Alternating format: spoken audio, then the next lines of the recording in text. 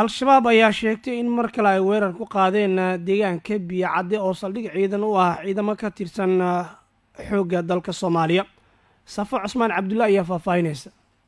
Wararka naga soo gaaraya gobolka shabeellada dhexe ayaa sheegaya in mar kale dagaal u dhexeeya ciidamada dowladda soomaaliya iyo xoogaga al-shabaab uu ka dhacay deegaanka biyacadde ee gobolkaasi. Dagaalkan oo ahaa mid culus ayaa yimid kadib markii dagaalyahano ka tirsan al-shabaab ay weerar ku qaadeen saldhig ciidamada xooga dalka ay ku leeyihiin deegaanadaasi. Wararka ayaa sheegaya in dagaalkan ay ka qayb qaateen ciidamo amisom oo madaafiic ugu jawaabay weerarka ay soo qaadeen dagaalyahanada al-shabaab. Ugu yaraan laba askari oo ka tirsanaa ciidamada dowladda ayaa lagu dilay dagaalkaasi iyadoo ay ku dhaawacmeen tiraintaasi ka badan sida ay shabeel u xaqiijiyeen ilo dadka deegaanka ah waxaana dagaalkan uu ku soo aadayaa iyada oo dhowaan weerar ismidaamin ah ay xarakada al-shabaab ka fulisay deegaanka biya cadde ee gobolka shabeellada dhexe kaasi oo ay ku dhaawacmeen saraakiil ka tirsan dowladda. Maamulka puntlandna waxa uu sheegay in baaritaano amni oo dhaba lagu sameyn doono xubnaha golaha deegaanka degmada jiraban ee gobolkaasi mudug. Xasan xaaji maxamed ayaa faahfaahinaya madaxweynaha maamulka puntland ayaa dhowaan shaaca ka qaaday in looga baahan yahay wasaaradda arrimaha gudaha ee puntland in ay dardargeliso dhismaha golaha deegaanka gobolka mudug. Maanta ayaa waxaa degmada jariiban ee gobolka mudug tegay wafdi uu hogaaminayo guddoomiyaha gobolka mudug ee puntland cabdilatiif muuse sanyare kaasi oo la kulmay qaar ka mid ah odayaasha dhaqanka.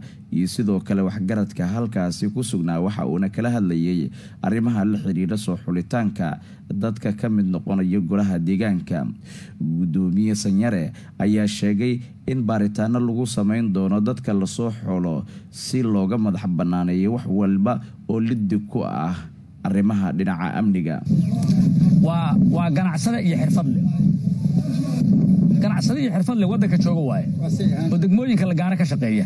Laakiin ma rabno wiil cv doonayo gabana mid iska tegayo oo raba inuu meel kala aado mid aad maaro u weydeen oo inkaar qaba ah oo hayn weydeen oo aad tidhaahdaan degmada gal oo markii la dhaafshay iska taga. Degmadana ogaada waxaa la degoo meesha hadda joogta dhigay waxa weeye. Konsal aan fadhin weeye. Waa doorataan markii hore waa ku jaqjaq tidhaahdaan waxaa raadinaysaan waa idi aqaanaa waxaa raadinaysaan waxa weeye. Reer hebel meesha ha ka muuqdo reer meesha ha ka muuqdo wax anfacda male hadda waxayna anfacayso shabaab bay naga xoran lahayd oo nama qabsadeen shabaab. Waa horena ku liibaani lahayn. Waxaad isugu haysataanoo kuwana u bursanayaan kuwana u cayrsanayaan waxa weeye. Qolo wali waxa rabta in la meesha annaga u humbulan waxba waxaas tarimayaan waxaa macno leh in xubnaha la doortaa ay noqdaan kuwa dadka u shaqeeya. Oo mashaariicda ay u baahan degmooyinku soo ribood gareeya. Oo konsolku markuu fariista keeno yidhahdo tuule heblo waxay u baahan tahay ceel. Tuule heblo wadda xun bay leedahay oo ay dowladda u gudbiyaan. Oo hay'adaha wax qabanaya iyo mashaariicda cidda bixisiyo doonariski ay u gudbiyaan oo yidhahdaan degmada jiriiban intaasoo baahiyood bay qabtaa. Waxaa la rabaa konsol fadhiyo shaqeeya. Waxaan odhan lahaa waxaa laydinka rabaa inaad dadka ugu nuxurka koroon aad keentaan annaguna waa xulaynaa.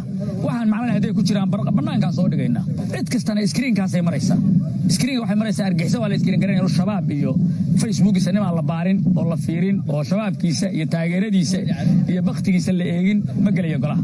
Waxa ugu weyn aan ka cadhana waa argixisa inay golaha noo soo gasho. Oo markii golahu soo fariisto uu fidmo ka dhex abuuro oo uu fokolba u yahay argagixiso oo uu yidhaahdo xag iyo xagga akhribanoo uu fidmo ka dhex sameeyo golaha ma rabno. Mooshinno iyo bala ka dhex abuuro. Waxaan rabnaa golo stabala oo shaqeeya oo wadaniyiina oo argagixisana ka madax bannaan qaaqlayaalna ka madax bannaan. Wasaaradda arrimaha gudaha maamulka puntland ayaa iminka wada dadaaladii ugu dambeeyey ee la xiriira xulitaanka dadka ka mid noqonaya golaha deegaanka. Madaxweynaha maamulka galmudug ayaa maanta kulan gaara waxa uu la qaatay safiirka u k ee soomaaliya.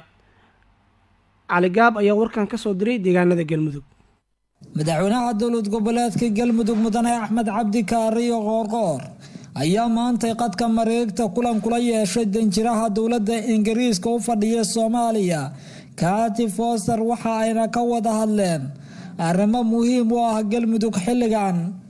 Madaxweynaha galmudug mudane axmed cabdi kaariyo qoorqoor iyo danjiraha waxay ka wada hadleen arrimaha horumarinta kaabayaasha dhaqaalaha amniga gudaha dhismaha hay'adaha kala duwan ee galmudug oo dowladda ingiriiska ay gacan ka geysatay. Dhanka kaleeta danjiraha iyo madaxweynaha ayaa ka wada hadlay arrimaha dardargelinta doorashooyinka dalka oo si habsame leh ku socda. Qoorqoor ayaana hoosta ka xariiqay in galmudug ay diyaar u tahay sii waditaanka dadaalada xooggan ee dalka ay doorasha uga dhacayso. Madaxweynaha galmudug ayaa ugu dambeyntii danjiraha dowladda u k uga mahad celiyey taageerada iyo garab istaagga ay dowladdu siiso guud ahaanba shacabka soomaaliyeed iyo kuwa galmudug oo si gaara uga mahad celiyey ingiriiska. Axmed cabdi kaariyo qoorqoor waxa uu sheegay in dowladda ingiriiska ay ka mid tahay dowladaha sida gaarka u taageera galmudug taas oo sahashay in galmudug horumaro kala duwan ay dowladda ingiriisku ka taageerto. Cali xasan barkadle cali gaab wararka shabeelle galmudug. Aada buu mahadsan yahay wariyaha shabeelle uga soo warrama deegaanada galmudug cali xasan barkadle cali ayuu kaan ahaa. Mid ka mid ah beelaha deegaha koonfur galbeed soomaaliya ayaa sheegay inay kulan ay kaga tashanayaan aayaha kuraasta beeshu ay ku yeelanayso baarlamaanka federaalk soomaaliya. Zakariya axmed muuse carab ayaa faahfaahinaya. Odayaal iyo waxgarad ka soo jeeda beesha jiido oo kulan ku yeeshay magaalada muqdisho ayaa waxa ay kaga hadleen aayaha beesha ee doorashooyinka soo socda beesha ayaa si weyn kaga hor timid shakhsi ay tilmaameen inuu doonayo majaxaabinta saddexda kursi oo ay ku leeyihiin baarlamanka federaalk soomaaliya waxaana ay tilmaameen in aayaha kuraastaasi looga dambeeyo dhaqanka beesha uu hogaaminayo suldaan gaaday suldaan guudle. Nabadoonnada beesha ayaa baaq cod dheer waxa ay u direen madaxweynaha koonfur galbeed soomaaliya mudane cabdilcasiis laftagareen iyo ra'iisul wasaaraha xukuumadda federaalk ee soomaaliya mudane maxamed xuseen rooble. Dowladda dhexe iyo maamul goboleedka koonfur galbeed waxaan ka rabnaa maanta jiidda ayada inay ka tashato. Haddii wejigii hore oo hadda socdo oo aan iska bedelnay suldaan aan ka dooranay suldaankeena beesha jiidda ay dooratay oo maamul goboleedka hadda uu joogo ayaan jiidda kuraasidiisii iyo nabadoonnadiisii iyo oqaashiisa ayaan ka rabnaa anaga. Waxaan rabnaa dowladda koonfur galbeed waxaan ka rabnaa hornamo buuhta haddayna siiyaan.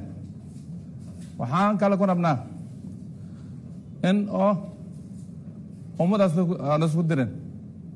Jiiddo qof baa qabsaday aburiyey godgidey hawaalaa ugu jirtaa jiiddo hawaalay ku jirtaa maanta waan rabnaa inaan hawaashii ku soo baxno aan soo noolaano jiiddo beelweynta jiiddo jiiddo ma yaro. Jiiddo ma yaro. Laakiin waxaa noqotay adares waa ku hunay maanta. Waxaa naga dhigay dad oo shaksiyada jiidda aburiyey. Waa ku soo jeednaa maanta. Jiiddo waa dad iska sabar badnaay. Waa dad iska martaa kulleyb cadaalad ahay oo iska qaboobanaay laakiin waa lagu badiyey dhibkiyaa ku batay. Dhibkii hal ma aha laba ma aha waa dhib soo raagay oo wax badanna soo socday. Soomaaliyey madaxdeenna sharafta leh koonfur galbeed iyo dowladda dhexe jiidda maanta waxay rabtaa inaa cadaalad loo falo. Cadaalad in loo falo. Soomaalida cadaaladda kolleyb waxaa waaye ninkii ilaahay ka cabsanaayo ilaahay ka cabsanaayo oo qabri u socdo oo qiyaamo maalintiisii su'aalka martaa kolleyba oo ka cabsanaayo waxaa waaye culeyska saaran waa inaa iska khafiifiya beesha fadhiya waa duubabka beesha jiido waxayna ka hadlayaan waa inay helaan doorasho xaq iyo halaal ku saabsan. Waxaa jiri jirtay nin keliya ayaa xildhibaanada soo horan jiray weligiisa. Waxaan rabnaa inuu dhaco election oo halaal ah aysan dhicin salagti wax qof wata waxaan rabnaa marar badan ayaa dulmi dhacay inaysan dulmigaasi dhicin.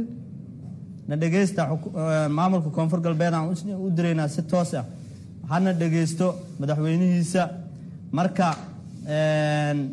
haddaad diiddaanna anaga kolley allana waa leenahay waana tashan doonaa insha allah. Wixii ka dambeeyey heshiiskii doorasho ee lagu gaaray magaalada muqdisho ayaa waxaa bilowday loolan adag oo la xidhiira aayaha kuraasta beeluhu ku yeelanayaan baarlamanka soo socda. Halka warkaasi habeen kala socotaan dhegaystayaal waa shabeelle muqdisho soomaaliya iminkana wararka dibadda iska horimaad ayaa dhex maray maraakiib dagaal oo ay leeyihiin raashka iyo ingiriiska. Raashiya ayaa maanta ku eedeysa britain inay faafinayso been ku saabsan. Iska horimaad badda madow ku dhex maray maraakiibta dagaalka labada dal. Waxayna ka digtay in si xoogan uga jawaabi doonto daandaansi kale oo ay sameeyaan ciidamada badda britain ee ku sugan xeebta gobolka kirmay ee raashiya ay goosatay.